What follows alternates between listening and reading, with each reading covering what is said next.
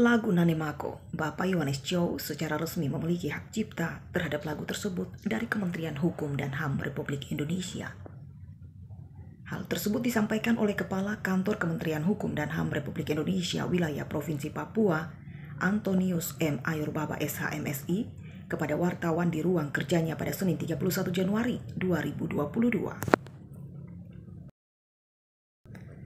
Terkait dengan itu, Kakanwil Antonius M. Ayurbaba SHMSI meminta kepada kelompok seniman, pencipta lagu, fotografi, penulis buku, pembuat film dan pembuat tarian agar mendaftarkan hak ciptanya ke Kementerian Hukum dan HAM Republik Indonesia wilayah Provinsi Papua untuk dikeluarkannya hak cipta terkait dengan hasil karyanya tersebut.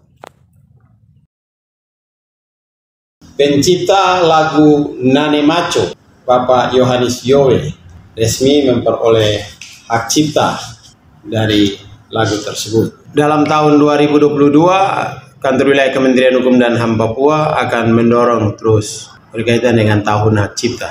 Dalam tiga hari, kita sudah memproses dan mengeluarkan 10 sertifikat hak cipta. Baik pencipta lagu, uh, jurnal penelitian, fotografi, buku, yang dilayani secara langsung oleh tim kami di kantor wilayah Kementerian Hukum dan HAM Papua.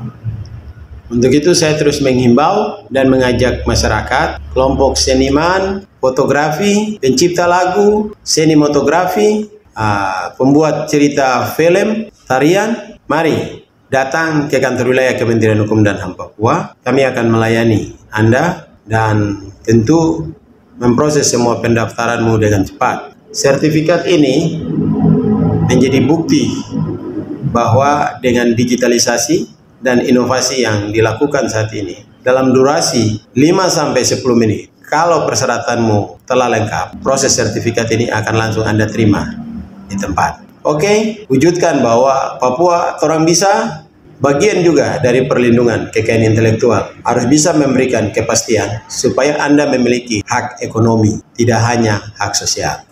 वह नम्र गांधी